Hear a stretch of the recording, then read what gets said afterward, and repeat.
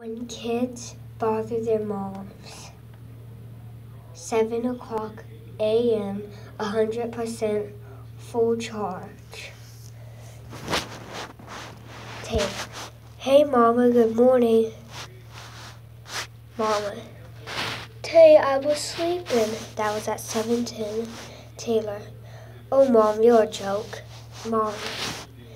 7.13. Tay, I will wake up at 10. Taylor.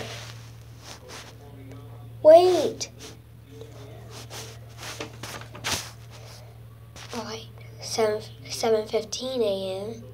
Full charge 100%. Mom. What day? It was it's 7:15. Go back to sleep, please. Taylor. Why? Mom. Tay, I don't have time for questions. Just go back to sleep, please. Fine.